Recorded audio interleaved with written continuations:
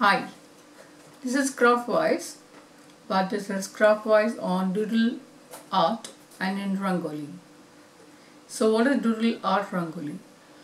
Rangoli is just a circular of something that is rectangular, something that is squarish, but now in this we're going to concentrate on different items such as uh, ice cream or kind of cookie or donut and so on.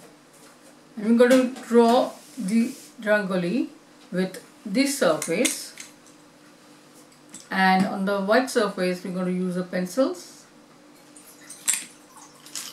and some pens. So this is what we will do today. Alright, I'll see you then in my next video, Doodle Rangoli. Bye.